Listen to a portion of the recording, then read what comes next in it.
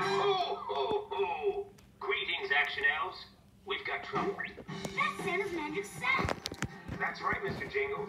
As you know, this magic sack can fit all the toys that I need to deliver to children on Christmas.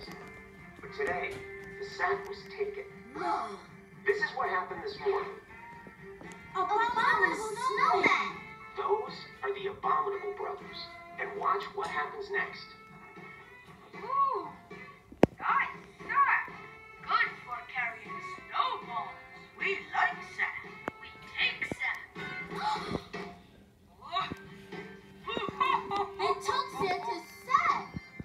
Action Elves, your mission is to find the Abominable Brothers, get the magic sack, and bring it back to me so I can deliver the toys.